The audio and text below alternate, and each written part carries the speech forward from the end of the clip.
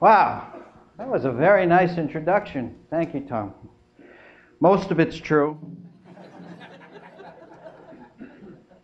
Uh, I, it's such a pleasure. You know, I travel around with my colleague Joy Laverty. She's also a speaker, and you know, we go to many places, and sometimes you're welcome. But let's talk about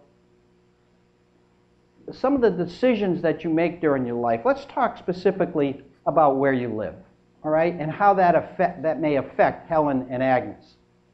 Now, this was taken by a friend of mine from the shuttle, and uh, this is at night in North America. And uh, let's see, there you are right there. Uh, you got to shut off a few lights at night, people. I was in the military a long time, but I'm from Massachusetts, so I used to park the car all the time. but I, you know, in the military, you lose some of Just a couple decades ago, we didn't know very much about aging. The reason being, as this slide shows, man's experience for the most part was one where we were born, we grew up to be our very best. A teenager will tell you that's about 13. and then we'd be sort of going along our way, and again, earlier in our uh, history, you'd turn a corner and literally there would be a tiger there. I mean, real, a tiger. And that's the end of your life. Or you would be scratched by that tiger and an infection would get you shortly after that. Lung disease, arthritis, a number of things that, that hinder our performance. So again, we've given up acute causes for chronic causes. The joke is, uh, gentleman goes to the physician, and the physician says, I've got good news and I've got bad news. Give me the good news. Good news, you'll live to be 120 years old.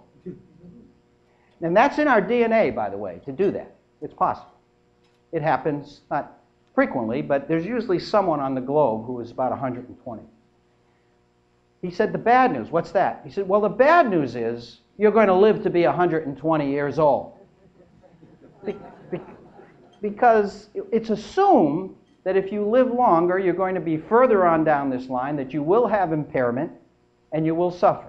We know that there are people who do not age this way. We know that there are people who age according to this dotted line and stay at very high levels of function for longer, longer period of time.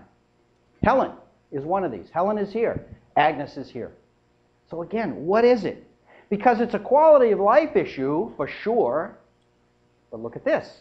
It's also, since we can only live so long, the longer we stay up here, the more likely the event called in medicine the terminal event, our death would change also.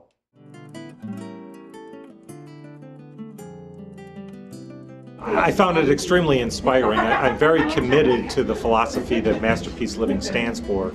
But every time I hear Dr. Landry speak and, and talk about the, the 10 ways to, to age successfully, it just reinvigorates me and challenges me to ensure that uh, Pinegrove Estates Phase 2 really is able to carry that out and live that.